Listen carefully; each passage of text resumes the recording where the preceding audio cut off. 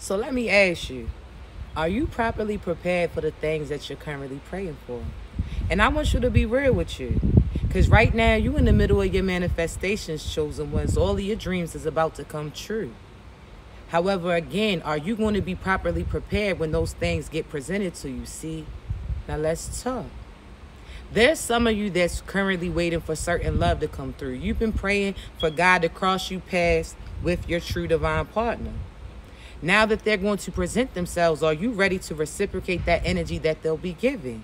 See, some of them may ask you out on dates and you may decline. Talking about you don't have nothing to wear or nobody to watch your child. See, now's the time to prepare for that.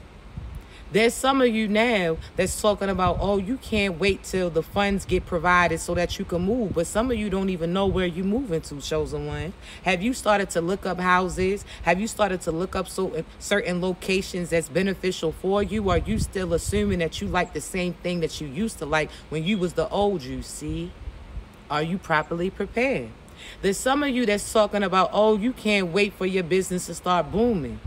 But have you recharged you? Have you had a good night's rest? Are you feeling like you? You understand? If not, then what is that going to do for you? When your business starts booming, now you're going to be talking about you tired. Now you're going to be talking about that you done. Now you're going to again be the same person that was praying for these things. Now you're pausing your progression. So are you properly prepared? Everything that you asking for is getting presented to you. And if you're not ready when they get presented, you still going to be waiting on your blessings is going to be waiting on you. So what is it? I want you to be mindful of your decisions. What does love look like to you? What does happiness look like to you? What does success look like to you? And what can you do to align those things for you? Be great.